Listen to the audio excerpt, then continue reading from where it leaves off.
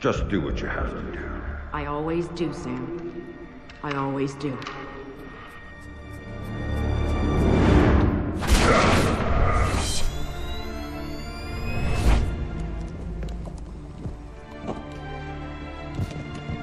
The thing you have to understand is this. The Sam Fisher you knew is dead.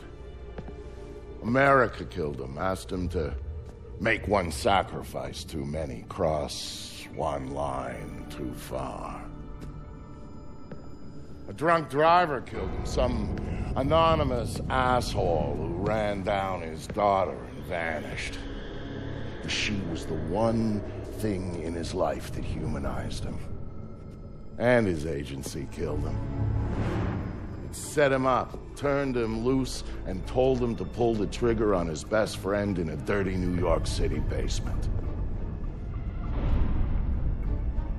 Irving Lambert died by Sam's hand that day.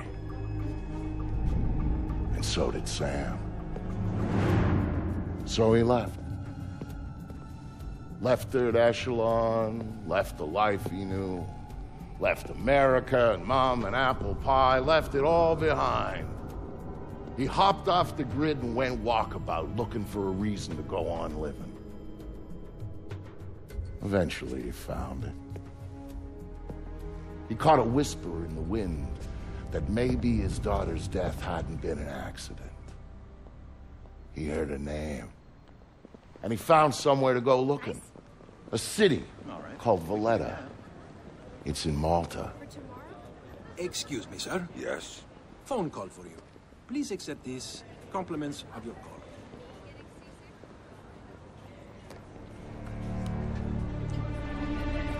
Sam, Who is this? How'd you find me? give me a little credit, Sam. Don't tell me you don't recognize my voice even after all this time. Grim, what do you want? To save your life, we can go from there. A team of armed men just entered the marketplace looking for you. They're closing in on your position. Unless you do exactly what I say, this will be a very short conversation. I'm not doing a damn thing until you tell me how you found me. We're third echelon. We've got an eye on everyone. Look up. You'll see it. I see it. Then I can take it back up to safe altitude, and you can get moving. You still haven't told me how you found me. Move. You've got multiple hostiles inbound on your position, and from where you're at, you're a sitting duck. Now get to that group of stalls in the market. There's a lot of cover for you there. It's like the old days, huh, Grim? Just like the old days, Sam. Are you carrying? Yeah, but I'd rather not risk a firefight when there are civilians around. That's very noble of you. But right now, what matters to me is getting you out of there in one piece. So get to that group of booths right now, or I can't help you, Sam. Everybody leave! Get the fuck out of here! I said get the fuck out! Good. Now let's get you a little closer to those targets in the light over there. Go cover to cover until you reach the luggage stand.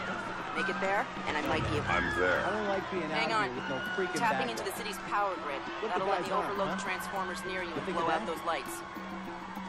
Yeah. Get some goddamn.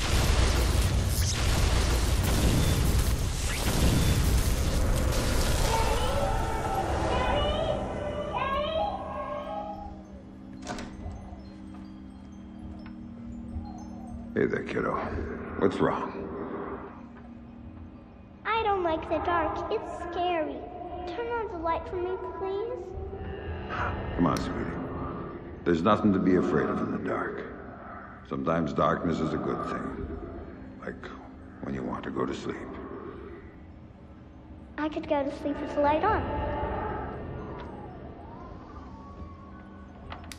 When it's light, you can't see into a place that's dark. But when it's dark, you can see what's around you much better. Really? Really. So if there's monsters or bad people around, you can see them. And if you're in the dark, they can't see you. I can't see you either. Can you please turn the light back on? Okay. Then how about this? There's one really cool thing I didn't show you yet. There is? Show me. Okay, here it is. When you're in the dark and your eyes get used to it, you can see all sorts of things around you really well. And then you can do stuff with them. Like what? Now take a look at your mobile. You can see it really well, right? If there were monsters standing underneath it. Because I can see it. Maybe I could make it fall on them and they'd go away. And it would fall on their heads and they wouldn't be bad anymore? That's my girl. Teddy, what was that? Daddy needs you to stay in bed now. Okay? He's gonna shut the door and he'll be back real soon, alright? Okay, Daddy, I love you. Stay in bed. There you go, Sam. Nice and dark, just the way you like it. Come here, chicken shit. Look, man! Screw you, motherfucker! You're dead no matter where you hide! Hey, shithead! Time to stop hiding! Come out and show yourself, fuckface!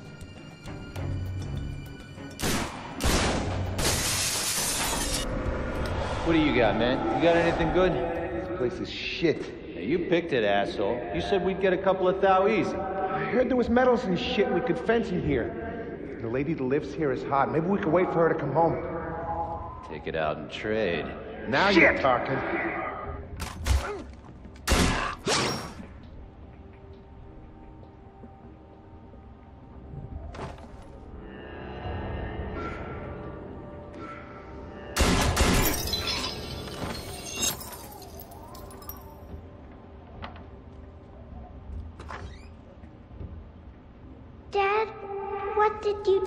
Do to them, Dad? Sarah, baby, don't look. Sam? Sam! What are you doing, Daddy? what are you doing? Sam, talk to me. Sam? Sam, are you there? Come on, don't check out on me. Graham. Oh, There you are. They brought in some reinforcements, and the man calling the shots is with them. Get a hold of him. I'll ID him, and you can figure out what questions to ask. Well, who's paying the bills on this one? Kobin. Oh man, why we gotta keep working for this guy? His money's good.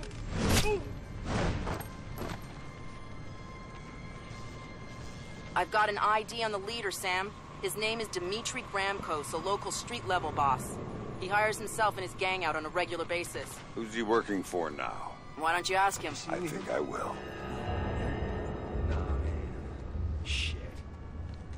Fisher guy's smart. Probably ran out the back entrance to the market and left us here with a thumbs up. What? Back's all blocked off. He's gotta come through here. Hopefully before we die of old age. The hell is he hiding anyway? Jewelry's Cover me, you asshole! Whoa, man! You gotta kill him! You gonna do something about it? You gotta kill him! Let him have it! Gun him down! I'm gonna fucking kill you!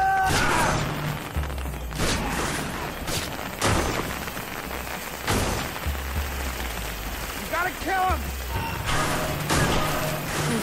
I'm out of here.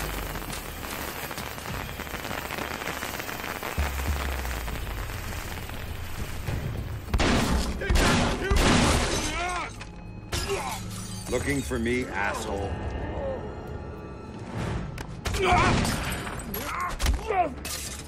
No more playing around. Who sent you? I'm not telling you a goddamn thing!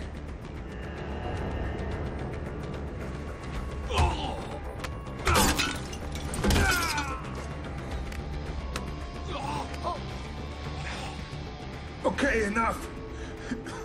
You wanna know, send me? It's Kobin. Andriy Kobin. Runs drugs, guns, anything people want, he gets it for them. Not good enough. Why does Kobin want me dead? Don't! Please, stop!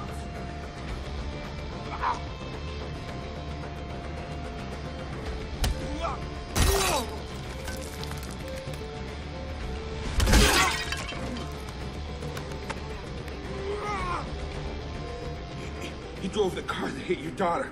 Used to brag about it, you know? Uh, heard you were coming, so he hired me to, to kill you before you killed him. You should refund his money. Where do I find him? You don't understand. Oh!